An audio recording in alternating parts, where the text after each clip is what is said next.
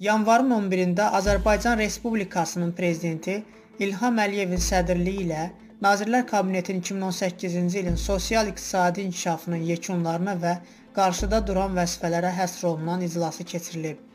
Axar.az xəbər verir ki, dövlət başçısı iclasda giriş nitqi söyləyib.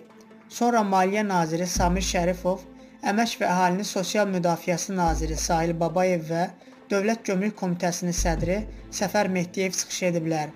Daha sonra prezident İlham Əliyev iclasda yekun nitqi söyləyib.